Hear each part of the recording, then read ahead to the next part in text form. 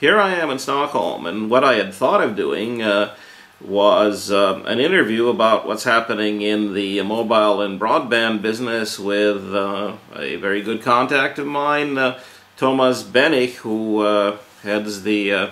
Kista Mobile and Broadband Showcase. Now, Kista, for those who don't know, is a kind of a little, or maybe not so little, Silicon Valley uh, suburb of Stockholm, where uh, there is a concentration of uh,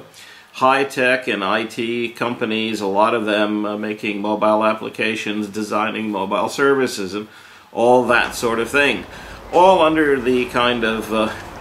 uh, roof or our organization, Kista Science City. Well, it turns out that uh, Tomas uh, is so busy that he didn't want to speak on camera. He was running between meetings and uh, also talked about how many international engagements he's had recently and all the conferences that are going on. And of course, the new thing for Kista Science City, which uh, is, uh, as I said, the roof organization for the Mobile Broadband Showcase and a lot of the other startup and entrepreneurial and high-tech activities. The new thing is clean tech, which, uh, as far as I know, involves um, the uh, design of uh, products and manufacturing processes that do not uh,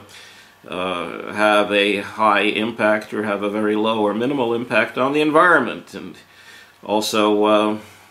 are part of sustainable manufacturing and sustainable disposition of the final product kind of processes. Anyway, that's that is what is new here, and uh, there's a lot of things going on, and one of the things that uh, Tomas is looking forward to is the so-called Mobile Gala, which is basically a kind of Swedish-oriented event, but it's where prizes are handed out to the best uh, mobile uh, solutions or new products that have come out uh, over the past year uh, and have been uh, designed by one of the hundreds of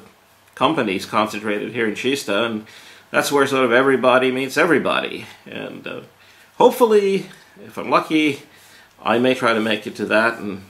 put something up on Latvian telecoms. Because when I'm here, I think not so much in terms of Latvian telecoms, I start to think of, of Baltic and Nordic telecoms because the regions are interlinked and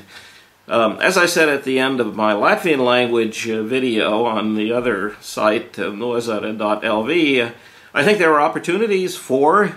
uh, Baltic and Latvian companies to come here and make contacts with people at Kista Science Center, uh, whether it's software uh, designers, whether it's people with uh, mobile-oriented products, there are probably cooperation partners to find. There's a lot going on here. Uh, certainly more than in the depressed economies of the uh, Baltic states, especially Latvia. So uh, maybe uh, make some contacts, come on over because it'll stimulate something that's very important for Latvia and it's very important for the other Baltic states, which is the export of high value added products and services. So uh, that's what I have to say for Sweden, from Sweden, where everybody's too busy to talk to me on camera.